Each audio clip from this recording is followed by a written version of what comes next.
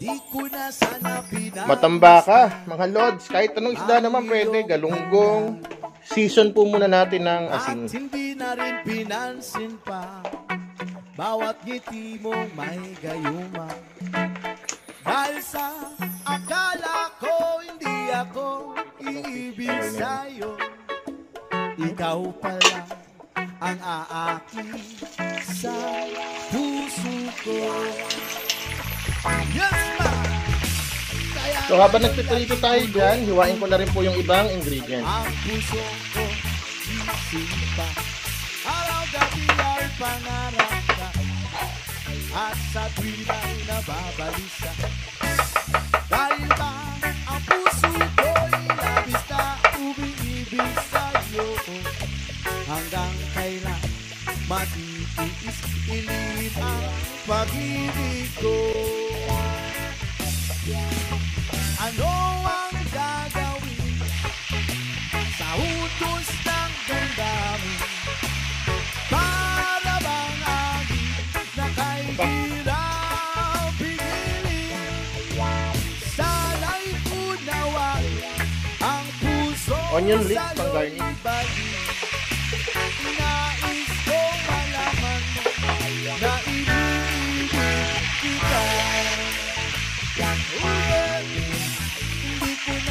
sana pinagmasdan ang iyong ganda. At hindi na rin pinansin At magbabati rin ako ng apat na itlog. Yan. Sabatin lang natin itlog. Apat na itlog po yan. Kayo na po bahala kung gusto nyo dagdagan o bawasan. Hindi ako iibig sa'yo Ikaw pala Ang tamang fix So yun nga, same pan. Fix ulit. Unti lang. Po, bawang. Yung iba po hindi naglalagay. Sige, optional na lang. Kaya lang kasi mabango po yan pag medyo natustas. Kaya naglalagay ako. Maglagay tayo.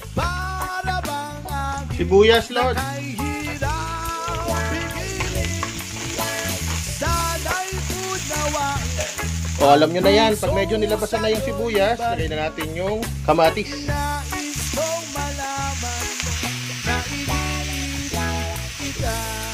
At lagyan na natin ng onting patis para matulungan natin yung kamatis i-draw out yung moisture niya. Mas madurog pa siya at lumabas ang flavor at aroma. Pigilin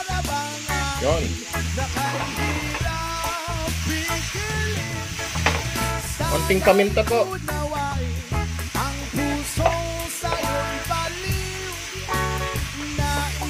Maglalagay din po ako ng seasoning, nor seasoning, onting-onti lang. Okay lang naman kung wala. Dagdag flavor lang to. Hindi na tayo magchi-chicken powder.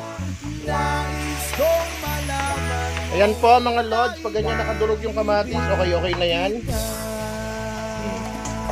Haluin niyo po kagad at magiging torta yan.